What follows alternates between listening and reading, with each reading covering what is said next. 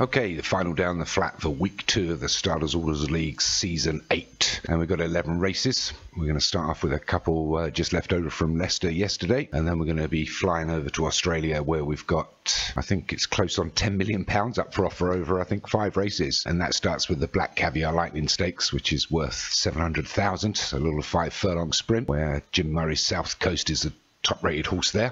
That's followed up by the Australian Cup, which is, uh, I think, worth 1.5 million. That's one mile, two furlongs over uh, Flemington. It's a Group 1. It's firm conditions there. And then you've got a couple of uh, previous winning horses in there. The Dark Horse for Hans Jones, Lady Jane Felsham for Paul Rhodes, and the Ends of the Earth for Sirius Chill. Then we move on to the George Ryder Stakes, which is worth £800,000, which is seven and a half furlong Group 1. And then the Doncaster Handicap, which is a one mile Group 1 handicap worth £2.5 million.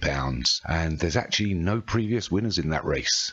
So anything could uh, get in there. The top rated is Silver Chair of Django. Then race 31, it's the Queen of the Turf. That's worth 800,000. That's a one mile group one for the fillies.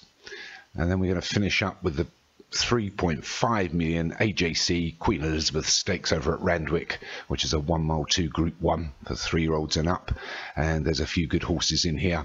Uh, you've got Crisis Talks of Stephen Rann, Favourite Son of Django, Schwartz of Hans Jones, all did well last time out. Bit of, as uh, Stephen Rann mentioned, big fields here at uh, Randwick are always a bit difficult because uh, you start on a kind of curve. So uh, good luck to everybody in that one. We're going to finish up the week from Vaal in South Africa where Tim Sandyman will just finish up with the three small handicaps we've got. Forgot to mention it's Mike Tartaglia that'll be calling most of the races, um, the last couple at Leicester and all the Australian races. So good luck to everyone and we'll see you in week three.